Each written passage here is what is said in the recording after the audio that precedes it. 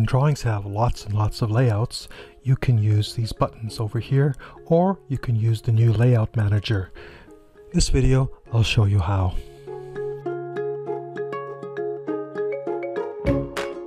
In the past, BricsCAD has offered two methods of controlling layouts interactively.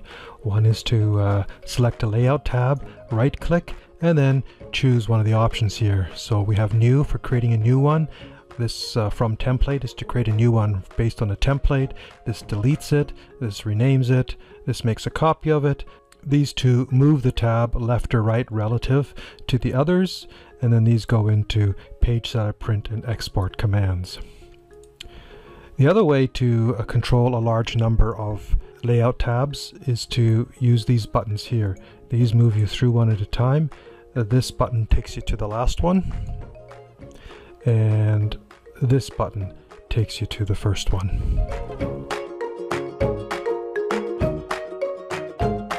BricsCAD version 18 introduces a third way to deal with lots of layout tabs, and that's done through clicking this little button right here. It's easy to miss, but once you click it, this dialog box appears. And it's called a Layout Manager.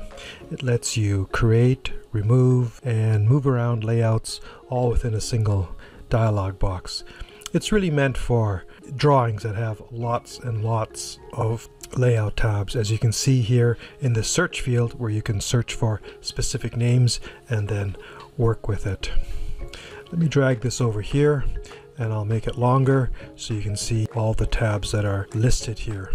I deliberately put in a whole bunch of repetitive tabs and I can delete those. Click the first one in a series, hold down the shift key, click the last one and then delete them and there they go.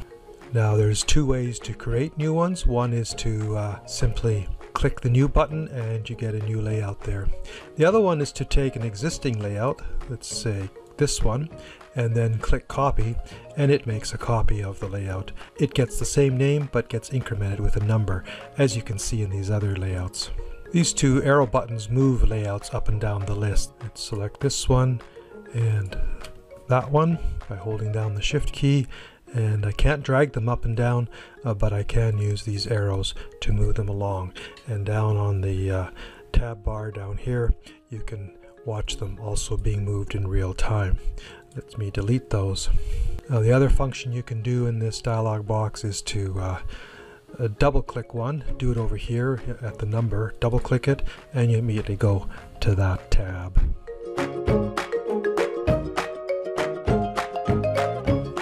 Final nugget from BricsCAD version 18 is that the uh, display of the layouts are cached. As you switch between them, they are viewed instantly. There's no waiting for them to redraw. Down on the command prompt, you see that that's going on. You get there the report that it's caching the viewports and that it's reusing the data.